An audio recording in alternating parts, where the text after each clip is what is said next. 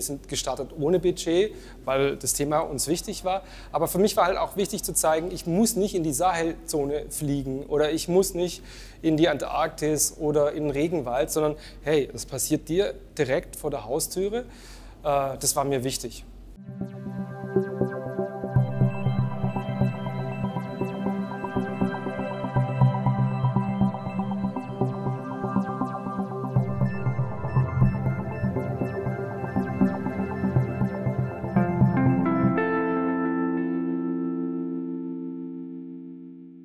Glaube, in meinem Film geht es darum, um die Wertschätzung für unsere Böden.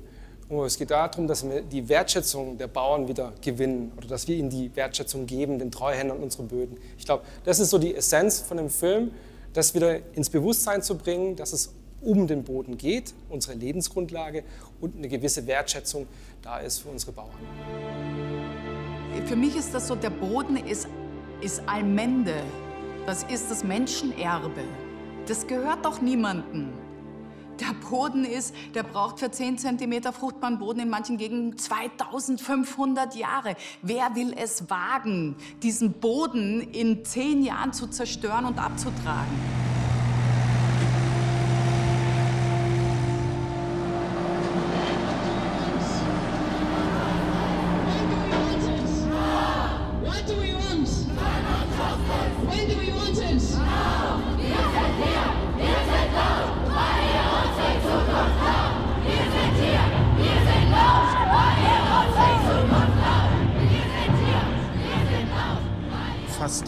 Alle Zivilisationen dieser Erde, die sich in den letzten 10.000 Jahren entwickelt haben, sind zugrunde gegangen, zumindest auch dank der Landwirtschaft. Sie sind dank der Landwirtschaft entstanden, ja, aber aufgrund der Landwirtschaft auch wieder zusammengebrochen.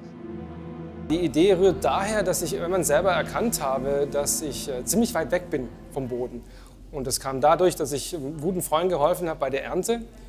Und da habe ich gemerkt zum ersten Mal, ähm, oh, guck, das, das ernährt mich, da kommt es her. Und dann habe ich mich dafür interessiert und dann habe ich dann äh, durch die Recherche äh, dass der Boden in Gefahr ist. Also nicht jetzt akut, aber in den nächsten 60 bis 100 Jahren ist es ein Problem. Und dann ja, habe ich eine Verpflichtung gespürt, mich dem Thema zu widmen. Humus entsteht in Lebensprozessen. Lebendige Pflanzen sterben ab oder Teile der Pflanzen sterben ab, wie hier die, die Blätter. Die werden dann wiederum von Leben, nämlich von Bodentieren, zersetzt, aufgefressen, angeknabbert, verdaut. Und alles, was aus diesen Bodentieren, wie zum Beispiel Asseln, Meerfüßer, Tausendfüßler, auch natürlich Regenwürmer, alles, was die fressen und wieder hinten raus als äh, Verdauung ausscheiden, ist Humus. Das ist schon Humus. Das ist organische Substanz.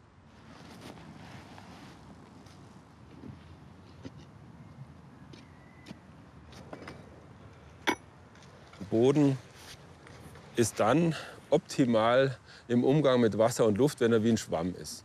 Das kennt man aus dem Kompost, das kennen wir aus dem Waldboden in den obersten Flächen. Das ist wie äh, schwammig, weich, fluffig fühlt sich das an. Und das heißt, dort kann an der gleichen Stelle viel Wasser und Luft gleichzeitig gespeichert werden. Und beides brauchen alle Lebensprozesse, Wasser und Luft. Deshalb ist Krümelstruktur, die ich mit bloßen Augen erkennen kann, diese kleinen, unregelmäßigen äh, Teilchen mit unregelmäßigen Oberflächen, diese Bodenkrümel zeigen fruchtbaren Boden an. Sagen wir mal, wenn wir es schaffen, einen Boden 20 cm tief gleichmäßig krümelig äh, zu erhalten, dann ist es ohne Probleme möglich, dass so ein Boden 100 Liter Wasser auf einen Quadratmeter auch speichern kann, der über einen Starkregen fällt. Das wird dann in diesem Schwamm, in dieser krümeligen Struktur gespeichert, ohne dass es oberflächlich abfließt oder ohne dass es durchrauscht durch den Boden und durch Bodenritze verschwindet. Also so eine krümelige Schwammstruktur des Bodens ist entscheidend für die Wasserspeicherfähigkeit des Bodens und für die Wasserabgabefähigkeit des Bodens. Meine Protagonisten kamen durch äh, Kontakte über Freunde, zum Beispiel über den Verein Wir und Jetzt.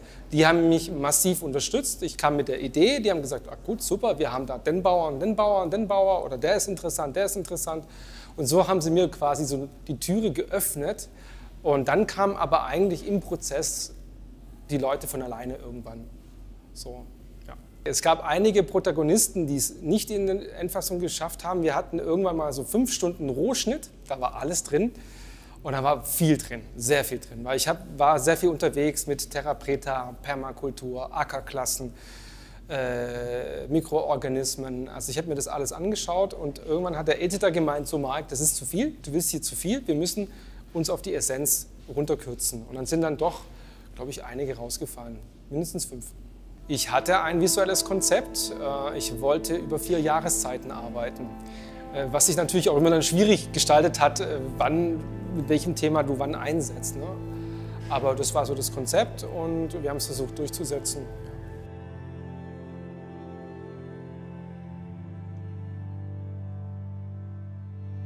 Die Änderung der klimatischen Bedingungen, die spüren wir schon in der Landwirtschaft. Man denkt im Moment, dass sich die Niederschläge bei uns in Mitteleuropa nicht in der Höhe nicht wesentlich ändern werden, aber wir bekommen äh, im Winter mehr Niederschläge als bisher und wir bekommen häufig eine Frühjahrstrockenheit, hatten wir dieses Jahr und letztes Jahr. Und dann gibt es noch das Problem, dass wir eben mehr Starkregenereignisse kriegen äh, als bisher. Also wir hatten ja auch in diesem Jahr ähm, hier im Kraichgau zum Beispiel mehrere große Starkregenniederschläge mit Erosionsschäden. Das heißt, wir müssen mit mehr solchen Erosionsereignissen rechnen und müssen uns natürlich auch überlegen, wie gestalten wir unsere Anbausysteme, damit das Risiko, dass dann tatsächlich Schäden auftreten, in solchen Situationen möglichst gering ist. Die Dreharbeiten sind insgesamt über zwei Jahre äh, gelaufen. Also wir haben gewisse Sachen dann auch noch nachdrehen müssen, die dann der Achim schon gemacht hatte, der Bauer, ohne uns Bescheid zu geben.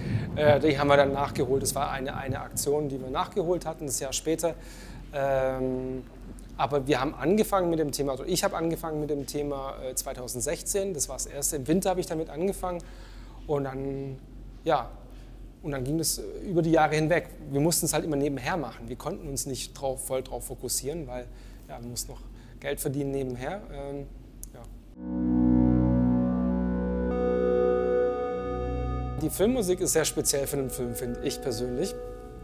Ähm, die widerspiegelt sich so mit meiner, mit meiner Gemütsstimmung. Ne? Wenn du unterwegs bist mit so einem Thema und du läufst in der normalen Welt rum, fühlst du dich irgendwie immer so, hier stimmt was nicht. Ja? Also das ist, so dieses, dieses weit weg, dieses äh, Disharmonie und so. Ähm, es hat ein guter Freund von mir gemacht, der in Stuttgarter ist, äh, der hat die Musik gemacht, der hat die Idee gehabt und äh, ja, ich fand die gut und wir haben sie umgesetzt und ja, mir gefällt sie bis heute noch.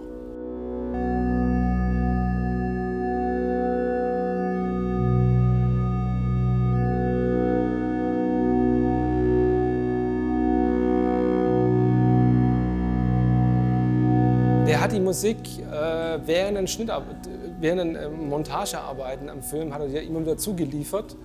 Und ja, ist also im Prozess entstanden. Wir haben viel diskutiert, welche Musik wir machen wollen. Äh, für uns war es klar, dass wir keine Musik machen wollen, mit die so Happiness ausstrahlt und alles ist gut und alles super, sondern wir wollten was Experimentelleres haben. Und das ist, manchem gefällt es, manchem nicht. Äh, ich finde es interessant.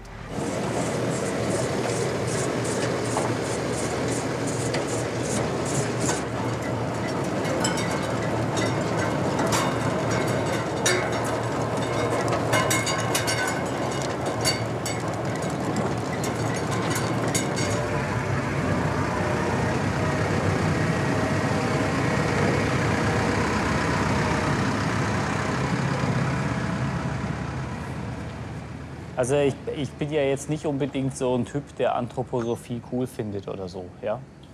ja? Aber da geht es definitiv darum für mich, ja, dass ich Lebensmittel erzeuge, die Körper, Seele und Geist so unterstützen, dass man fit ist und dass man geistig fit wird. Ja? Und dass die Menschheit geistig weiterkommt. Das ist mein Grundanliegen.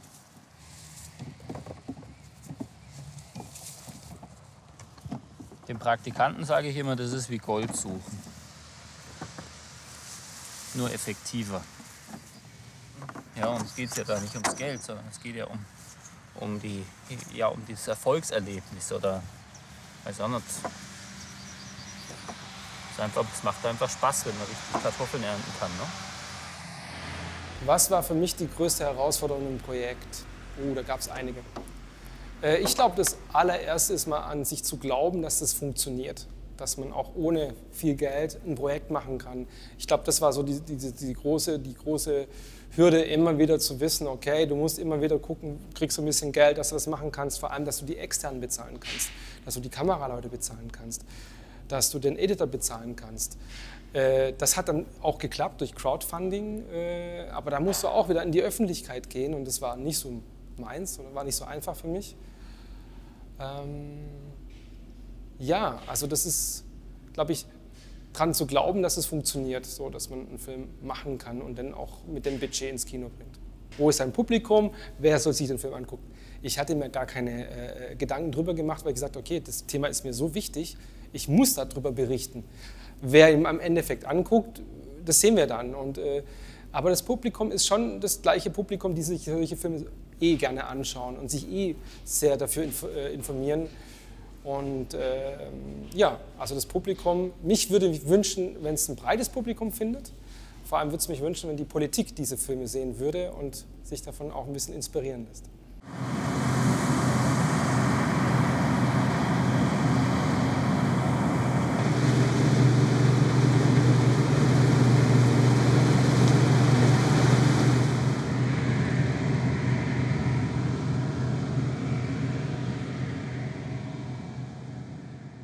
Ich habe viele Landwirtskollegen, die älter sind und äh, schon 60 Jahre mit dabei sind. Ne? Und da gibt es sehr viele, die eben vor 60 Jahren konventionell gewirtschaftet haben und jetzt seit 20 Jahren umgestellt haben auf biologisch oder Demeter. Ne? Und die haben alle diese, die machen das alle mit, dass, es, dass sie merken, wir treiben mehr Aufwand, um den Ertrag zu halten. Also wir ernten immer gleich viel und jedes Jahr machen wir mehr Aufwand. Ähm, das merke ich auch. Ja? Was wir für einen Aufwand betreiben im Vergleich zu dem, was mein Vater gemacht hat, der ja auch biodynamischer Landwirt war. Ne? Da war irgendwie, da steckt man die Kartoffel den Boden und dann wächst es schon. Ne? Und ja, wenn ich das so mache, das wird nicht mehr funktionieren. Ne? Ich muss ja wirklich alle Register ziehen und ja, die, die, die alten die Alten können das in ihrem Leben, in ihren 60 Jahren einfach ganz klar sagen.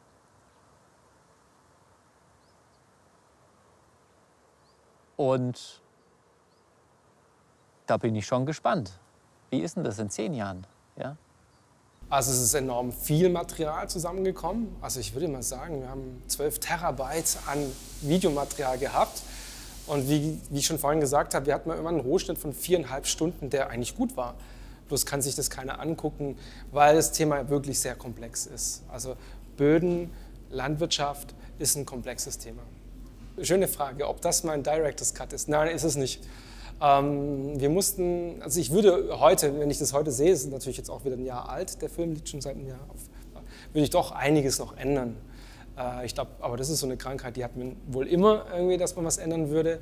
Äh, Im Director's Cut würde ich ihn, glaube ich, länger machen. Ich würde noch mehr Informationen reinpacken, weil ich glaube, es verträgt er noch oder kann man noch mehr machen. Ähm, hier und da würde ich was ändern. Also ja, ich glaube, aber das hört nie auf.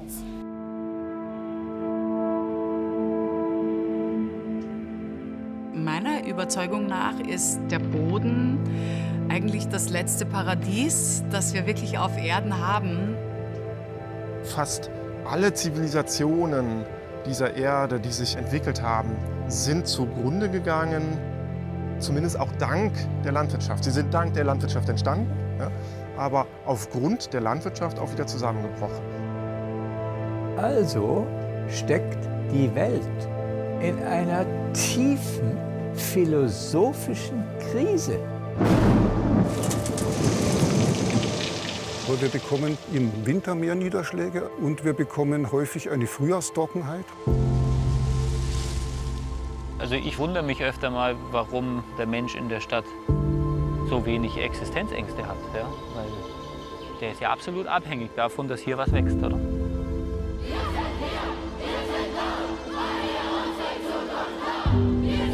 Die Landwirtschaft kann nicht eine Landwirtschaft gegen den Willen der Gesellschaft betreiben. Das wird nicht gehen. Bodenfruchtbarkeit ist aus meiner Sicht eine gesamtgesellschaftliche Verantwortung. Das würde ich mir wünschen für Landwirtschaft, ja. Das ist alles, was wert ist.